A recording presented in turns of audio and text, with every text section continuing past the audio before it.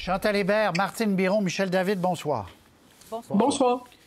Alors, le, Monsieur Legault qui a fait une blague, j'ai besoin de densifier ma relation avec le maire Marchand. On va parler de ça, mais d'abord, on va écouter le maire Marchand la veille, Monsieur Legault aujourd'hui, et on revient. Quand on confond occupation du territoire et densification, euh, il y a quelque chose qui est important là, que les gens euh, voient clair, et le gouvernement ne peut pas aller jouer dans ce discours populiste-là qui est euh, vraiment dangereux. Quand j'entends le gouvernement nous, servir cet argument-là, je pense que c'est fallacieux. J'ai vu aussi le chroniqueur de la presse, Régis Labombe,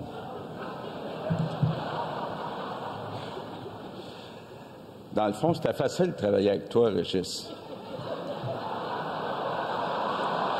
Là, je, vais essayer de me concentrer sur euh, Bruno. Euh, on va développer une, amitié sans condition.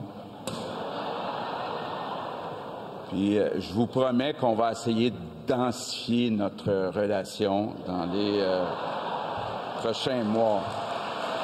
C'est important, oui, de densifier nos villes, de limiter l'étalement urbain. Puis une des façons de faire ça, c'est de décontaminer les terrains qui sont dans les villes.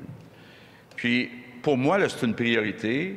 On sait que ces maires font face à un gouvernement, un gouvernement de la CAQ, qui est euh, littéralement figé dans une conception des années 50 concernant le développement des villes densifier d'un côté, euh, étalement de l'autre. Michel David, y a-t-il deux visions qui euh, s'affrontent actuellement dans le jeu politique de ces nouvelles personnalités municipales qu'on apprend à découvrir et, d'autre part du gouvernement de la CAQ?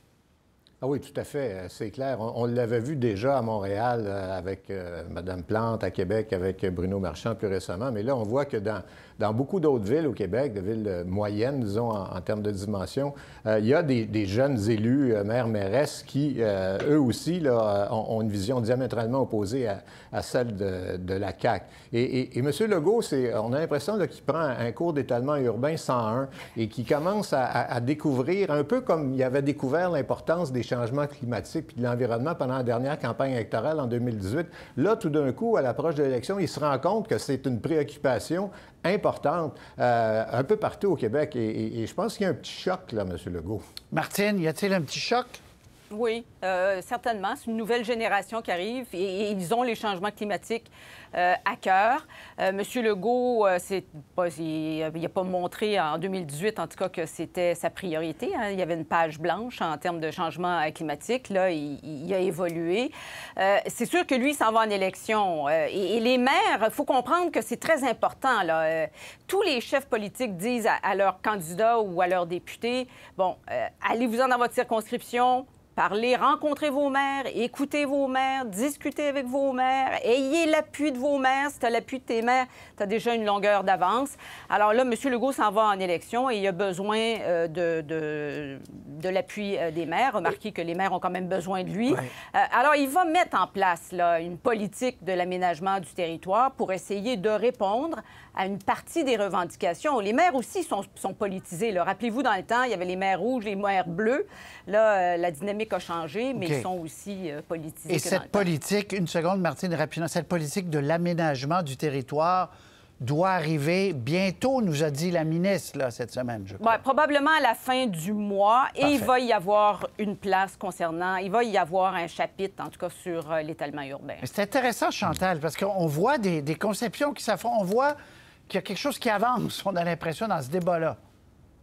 Oui, et euh, la donne euh, a changé parce que quand c'était Montréal et Valérie Plante euh, et la CAQ qui avaient des visions différentes, c'était pas sur un terrain électoral où la CAQ est forte ou a vraiment besoin de compter beaucoup de points. Mais là, ce qu'on voit, c'est que la nouvelle génération de maires, et ça, s'étend, Québec, Gatineau, faites la liste Longueuil, et là, on est rendu dans du terrain sensible, et avec des maires dont le mandat est tout frais. Euh, et en politique, vous le savez, ceux qui ont le mandat le plus frais ont généralement une longueur d'avance sur ceux qui veulent même une réélection parce que le pouvoir, ça use. Euh, et la fatigue des électeurs s'installe. Alors, pour la coalition Avenir Québec, il y a un besoin impératif de se densifier dans sa relation avec ces maires-là, parce que c'est déjà un point faible, la lutte au changement climatique pour la coalition Avenir Québec. Et là, ça vient se confirmer dans le, dans le pratique. Euh, donc, oui, il y, a un, signal jaune euh, qui, qui, qui, euh, s'allume, clignotant jaune. Attention ici. C'est ça. Puis il faut, faut, faire attention aux caricatures. Densifier, ça veut pas dire des tours de 30 étages, toutes des condos. Il y a plusieurs façons de densifier. très bien. Un petit extrait du débat d'hier. When have we ever heard the Prime Minister say I believe in this project. I think it should happen. And yes, please, I'm delighted to name them if you want me to. You, you, you heard that. I did. You, you broke the rules. Well, and I did it anyway. deliberately. Thank you. Je vous ai présenté ça pour montrer le format de ce débat. On s'attendait à un débat euh, vigoureux avec des débats, justement. Il y a eu beaucoup de questions de Tom Clark, notre ancien collègue de CTV, euh, qui posait des questions, mais tellement de questions qu'il n'y avait pas de débat. Euh, un petit mot, Chantal, sur le format. Euh, à côté de ça, notre dernier fédéral, puis Dieu sait qu'il y avait des contraintes, avait l'air beaucoup plus libre presque. Mais là, imaginez là, avoir des notes de trombone quand on prononce le nom du premier ministre dans un débat politique de l'opposition officielle. Il faut quand même le faire et avoir des raquettes de ping-pong pour prendre la parole et plus euh, avoir de droit de parole, dans le cas de Pierre Poilievre, quand on parle de lutte euh, contre les changements climatiques. Écoutez, moi euh, et vous, on fait de la radio et de la télé, et ni vous ni moi, on est capable d'énoncer une idée cohérente et de la défendre en 15 secondes, et c'est ce qu'on a demandé toute la soirée à ces gens-là. 15, 30 secondes quand on est généreux. tout un débat. Oui, ils sont tombés dans le piège. OK, mais euh, on, va, on va quand même, parce qu'il y a eu malgré tout euh, des, échanges. Euh, sur la Banque du Canada, M. Poilièvre, on va l'entendre, qui dit Moi, dès que j'entre en poste, si je suis élu, je vais renvoyer le, gouverneur de la Banque du Canada parce qu'il ne s'occupe pas bien de l'inflation. On écoute cet échange-là avec M. Charest. The Bank of Canada governor has allowed himself to become the ATM machine of this government. And so I would replace him with a new governor who would reinstate our low inflation mandate, protect the purchasing power of our dollar, and honor the working people who earn those dollars. Saying that the Bank of Canada is financially illiterate is irresponsible. It creates doubt. If you're an investor looking at coming to Canada and you hear that kind of a statement, Coming from a member of the House of Commons, you'd think you're in a third world country. We'll never win with a divisive leader who repels voters and doubles down on discriminatory policies that trample over the religious freedoms of Canadians. Tour de table, Michel, ça c'est un exemple de deux visions très différentes, M. Charret, M. Poilièvre, entre autres. Michel. Oui, euh, ça c'est le bout où M. Euh, Poilièvre a eu de la misère. Euh, la Banque du Canada et toute l'histoire du Bitcoin, là, puis on le voit aujourd'hui avec l'effondrement, j'imagine que M. Poilièvre va s'en faire parler. Mais il y avait quelque chose de tellement contradictoire dans ce qu'il disait. Il disait, écoutez, moi j'accuse le gouverneur de la Banque du Canada d'être à la solde du gouvernement libéral, il imprime de l'argent, il fait monter l'inflation, il n'est pas indépendant. Moi j'arrive là, je vais le sacrer dehors. toute, une indépendance pour le, gouverneur de la Banque du Canada. Alors, tout ce chapitre-là, je pense que M. Euh, là, a marqué des points en, présentant, et les propos de M. Poiliev le laissaient penser, euh, en présentant ce gars-là comme un irresponsable, qui serait dangereux de nommer euh, au délire au poste de premier ministre. Alors ça, M. Poiliev, il n'a rien gagné de ce côté-là. Martine.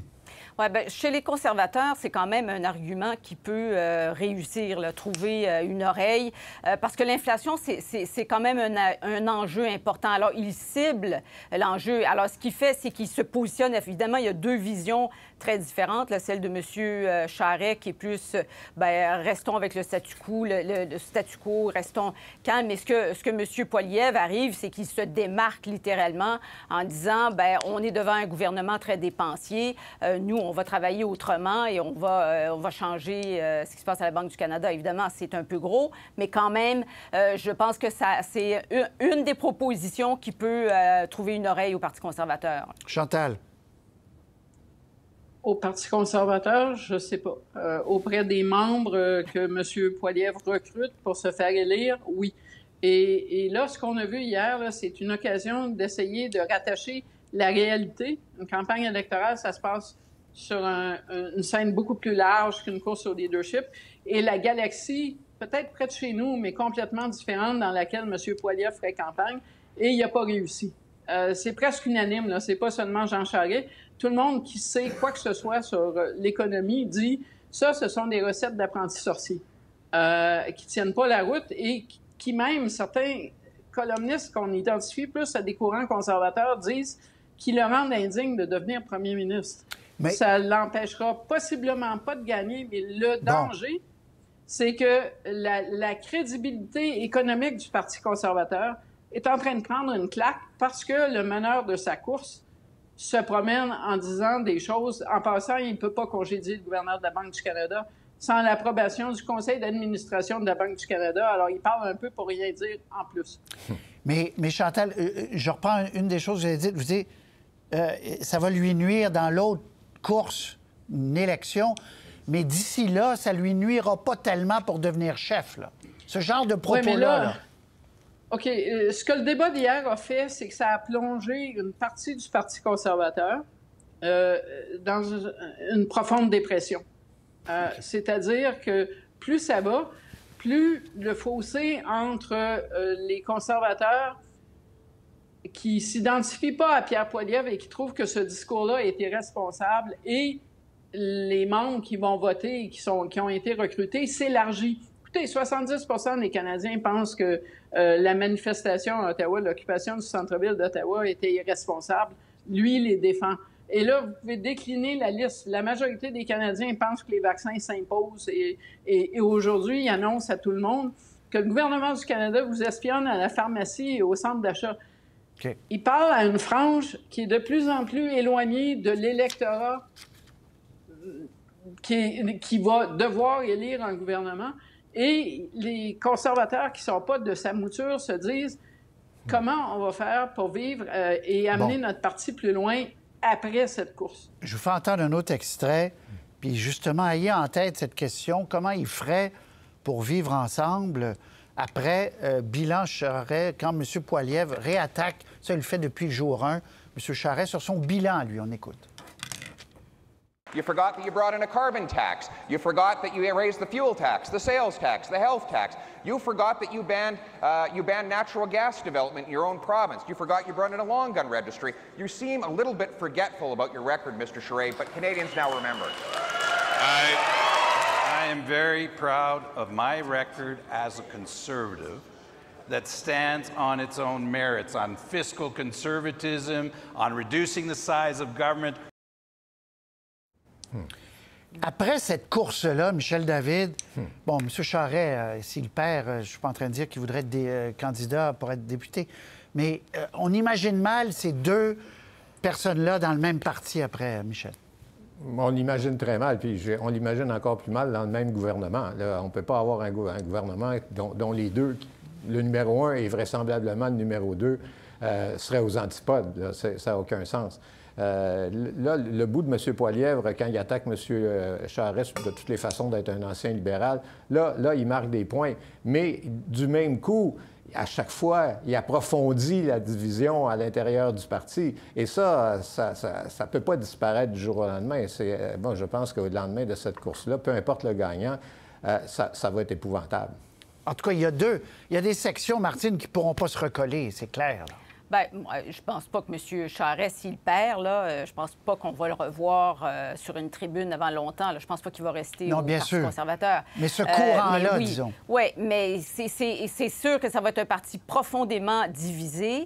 Euh, et, euh, quand, on entend les, les, si M. Poliev gagne, quand on entend euh, le programme qu'il présente, ça va être très difficile aussi pour d'aller en élection devant la population générale. Le présentement, il s'adresse aux membres qui veut séduire, mais sortir de là, ça va être tout un défi. Ça va être très difficile. La, la, frange progressiste, qui est quand même beaucoup plus dans l'Est, suivra pas.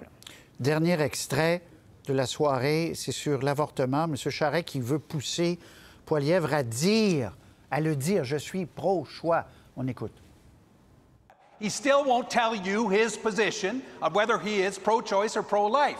I respect social conservatives. They will always have a place in our party. They are good people, faith based people who deserve a place at the table and in the family. I believe in freedom of choice on that issue. I already said that at the very beginning. So I, don't know what you missed. I don't know. I don't know. I don't know if you were. I don't know if you were listening.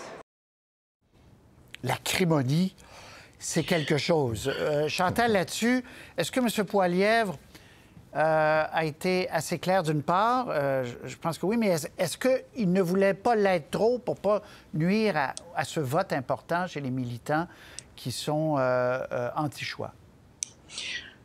Oui, euh, en gros, l'enjeu, ce sont les votes de, de Mme Lewis, Leslyn Lewis, qui est la seule euh, candidate de la droite religieuse qui est euh, anti-avortement parmi les candidats. Et là-dessus, là, le, langage corporel de Mme Lewis vis-à-vis Pierre Poilievre, ça donne pas l'impression qu'elle l'a dans son cœur. Alors, quelque part, oui, Jean Charest a probablement compté quelques points là, pas parce qu'il a dit « moi, je suis pro-choix », mais parce qu'il a parlé des conservateurs sociaux, d'une part, et d'autre part, parce qu'il a mis en évidence le fait que Pierre Poilievre ne leur faisait pas de promesses. Euh, ça pourrait être utile dans des tours de scrutin parce que ces gens-là vont devoir avoir un deuxième, un troisième, un quatrième choix s'il y en a un. Et aucun des autres candidats leur offre euh, ce que Mme Lewis leur offre. Oui. Martine et Michel, là-dessus, euh, tour de table. Martine. Ben, C'était intéressant parce que euh, effectivement, c'est- on voit que la stratégie, c'est c'est vraiment de préparer le deuxième tour. Et d'ailleurs, Mme Lewis, quand elle a dit qu'elle était pro-vie dans la salle, elle a été applaudie. C'est à peu près le seul moment où on a entendu des applaudissements sur, ce, sur cet enjeu-là. Euh, alors, euh, la salle envoyait le message de où elle se positionnait et le, le flou artistique que veut maintenir M. Poilièvre m'apparaît vraiment une stratégie pour le deuxième tour. Oui, Michel. Oui, bien, Mme euh, Lewis, euh, c'est à peu près tout ce qu'on sait d'elle qu'elle est pro-vie. Parce que quand on écoute au débat, ça n'a pas été particulièrement instructif, disons, hier.